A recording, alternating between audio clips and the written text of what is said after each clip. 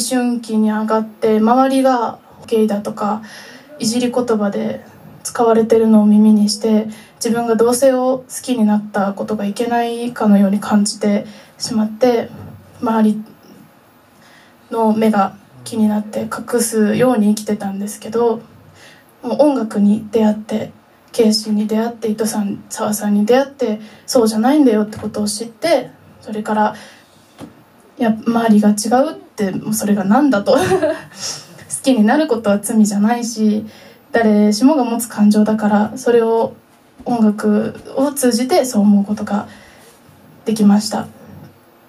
で自分が同性を好きになったんだったら誰の意見も関係ない。私はあなたが好きってまっすぐ言える自分になろうと思って作りました。この曲を通じて新しい出会いがある中であなたもあなたが好きになった人のことを周りの目なんか気にせずに好きだって伝えてあげてほしいし最後まで愛してほしいなってそんな思いを込めて歌います。新曲です。自分のオリジナル曲です。同性愛聴いてください。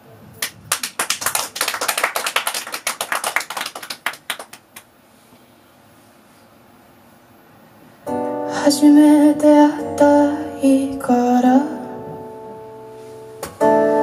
君に目を奪われたんだ。これは何かの間違いだ。そう自分に聞かせた。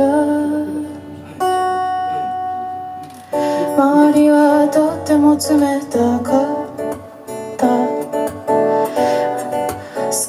違うだけなのにね。例外は認めませんと言わんばかりの。罵倒を浴びた。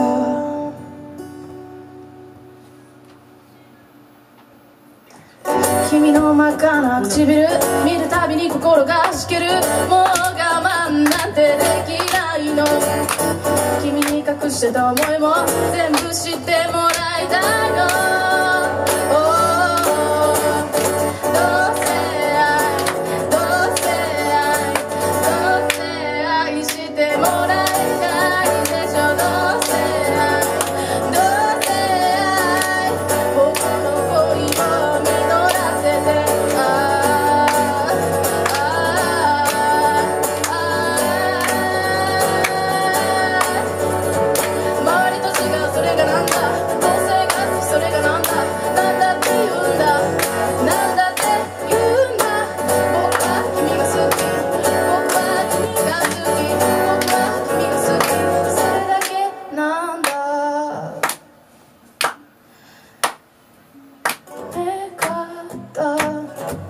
不思議とどこか違かった。